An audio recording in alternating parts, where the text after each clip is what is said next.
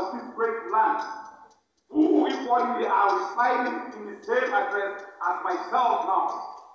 I am thankful. It speaks volume of the bigger contribution we made when we were here. You know, living is full of so many things. Getting rich, acquiring wealth, accessing poverty and being poor,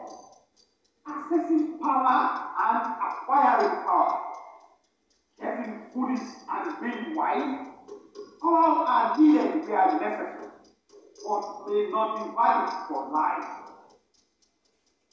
I have found out on the other side that all that matters is how many lives you help to stand when you have the opportunity. How many have you done?